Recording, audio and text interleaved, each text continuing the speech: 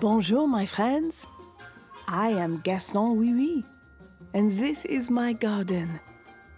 I want to introduce you to my friends Salvador Dali, the tortoise, Hunt, Smooch, and Charlie, the chickens. My friends, the bees. My friends, the hummingbirds. The family of finches.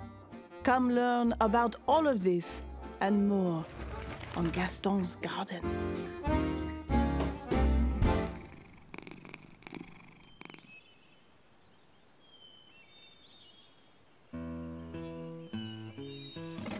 Shh. I hear something. Do you? There it is. I heard it again. Oh, voila. It's just my friend, Sal. Allow me to introduce you to Salvador Dali, the tortoise. You can call him Sal for short.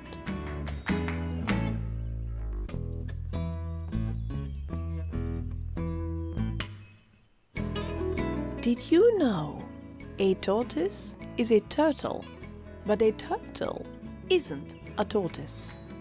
The tortoise is in the turtle family, but tortoises are the only terrestrial turtles.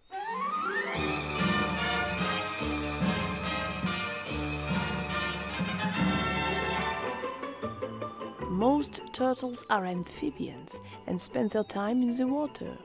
They also have webbed feet. Tortoises, on the other hand, are terrible swimmers. Sorry, Sal. It's true. Look at his feet. Don't they look similar to an elephant? Well, just one fifty-fourth the size. Not only do tortoises live on land, they also live much longer than turtles. Tortoises can live as long as 200 years, while the average lifespan for turtles is 8 to 16 years.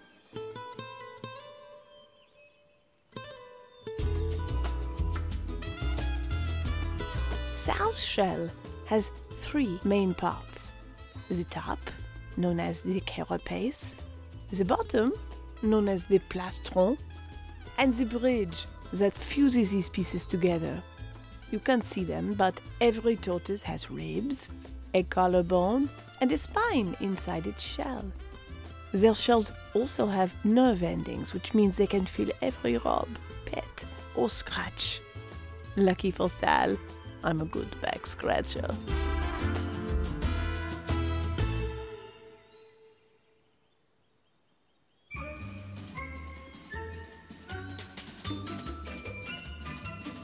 You can tell a female tortoise from a male tortoise by their tails. Males' tails are longer and have a hard, pointed tip like a nail. Let us see your tail, Sal. See, at the end, there's the point. Tortoises are herbivores, which means they eat plants. Sal loves kale and lettuce. He also loves blackberries. Look at Sal's mouth. It's like a bird's beak. Did you know that tortoises don't have any teeth? Sal is the ultimate conservationist. Tortoises can extract water and nutrients from even the smallest bites. Their stomachs work like a double digestive tract, separating the water that's in your food from everything else. So if water is scarce, Sal can hydrate from the food he eats.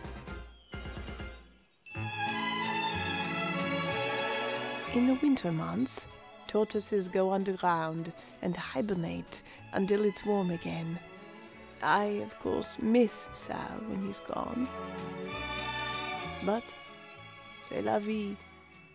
Sal is the only tortoise here in my garden, but if we ever get more tortoise friends and have a group, they would be called a creep or a fluage.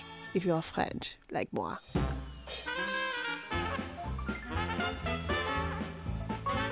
Well, my friends, I hope you enjoyed learning about all of these special animals. Remember, be kind to the animals and be kind to yourself. See you next time.